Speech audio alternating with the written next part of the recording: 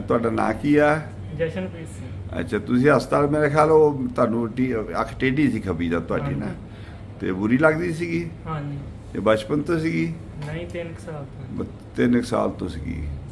ਤੇ ਤੁਹਾਨੂੰ ਕਿਸ ਤਰ੍ਹਾਂ ਮਹਿਸੂਸ ਹੁੰਦਾ ਸੀ ਟੀਟ ਦੇ ਨਾਲ? ਵੀ ਚੰਗਾ ਲੱਗਦਾ ਸੀ ਬੁਰਾ ਲੱਗਦਾ ਸੀ? ਬਹੁਤ ਬੁਰਾ। ਲੱਗਦਾ ਲੋਕ ਮਾਹੌਲ ਵੀ ਕਰਦੇ ਹੋਣਗੇ ਨਾ। ਹੁਣ ਤੁਸੀਂ ਬਿਲਕੁਲ ਠੀਕ ਹੋ ਗਏ ਆ? ਹਾਂਜੀ ਬਿਲਕੁਲ। ਹੁਣ ਤੁਹਾਡੀ ਜ਼ਿੰਦਗੀ ਕੀ ਤਬਦੀਲੀ ਆਈ ਹੈ ਇਸ ਇਸ ਕੰਮ ਦੇ ਨਾਲ? ਬਹੁਤ ਵਧੀਆ। ਬਹੁਤ ਜ਼ਿਆਦਾ ਵਧੀਆ ਲੱਗਦਾ। ਤੁਹਾਨੂੰ ਵੀ ਦੁਨੀਆ ਚੰਗੀ ਲੱਗਦੀ ਹੈ ਲੋਕਾਂ ਨੂੰ ਤੁਸੀਂ ਵੀ ਚੰਗੇ ਲੱਗਦੇ ਆ।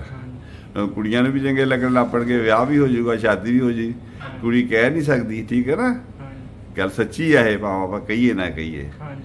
ਤੁਹਾਡੇ ਮਨ ਦੀ ਤੁਸੀਂ ਅਕਾਲ ਹਸਪਤਾਲ ਦਾ ਤੁਹਾਡਾ ਆਪਣਾ ਤਜਰਬਾ ਦੱਸੋ। ਇੱਥੇ ਦੇ ਡਾਕਟਰ ਕਿਦਾਂ ਦੇ ਇੱਥੇ ਦਾ ਸਟਾਫ ਕਿਦਾਂ ਦਾ ਚੰਗੇ ਆ ਮਾੜੇ ਆਪਣੀ ਸੱਚੀ ਸੱਚੀ ਗੱਲ ਕਰੋ। ਆਪਰੇਸ਼ਨ ਇੱਥੇ ਕਿੰਨਾ ਕੁ ਮਹਿੰਗਾ ਆ ਕਿ ਤੇ ਕਿੰਨਾ ਉਨੇ ਪੈਸੇ ਤੁਹਾਨੂੰ ਕਿੰਨੀ ਵਧੀਆ ਸਰਜਰੀ ਜਾਂ ਰਿਜ਼ਲਟ ਨਤੀਜੇ ਦਿੰਦੇ ਆ ਇਹਦੇ ਬਾਰੇ ਦੱਸੋ। ਹਾਂਜੀ ਅਕਾਲ ਆਈ ਹਸਪੀਟਲ ਜਲੰਧਰ ਬਹੁਤ ਵਧੀਆ ਵਾ ਸਟਾਫ ਨੇ ਵੀ ਬਹੁਤ ਕੋਆਪਰੇਟ ਕਰਦੇ ਆ। ਬਹੁਤ ਵਧੀਆ ਨੇ ਖਰਚਾ ਵੀ ਨਹੀਂ ਇੰਨਾ ਠੀਕ ਹੈ। ਠੀਕ ਹੈ ਜੀ। ਹਾਂਜੀ। ਉਹਨੇ ਖਰਚ 'ਚ ਕੋਈ ਫਾਇਦਾ ਹੁੰਦਾ ਆ? ਹਾਂਜੀ ਬਹੁਤ। ਕਿੰਨਾ ਕੁ ਹੁੰਦਾ? ਬਹੁਤ। ਅੱਛਾ। ਤੁਸੀਂ ਧੰਨਵਾਦੀ ਹੋ ਖਾਨ ਅੱਖਾਂ ਦੇ ਹਸਪਤਾਲ ਦੇ? ਹਾਂਜੀ ਬਹੁਤ। ਅਕਾਲ ਪੁਰਖ ਦੇ ਵੀ ਹੈਗੇ ਹੋ? ਹਾਂਜੀ। ਅੱਛਾ ਚਲੋ ਬਹੁਤ ਬਹੁਤ ਤੁਹਾਡਾ ਧੰਨਵਾਦ ਜੀ।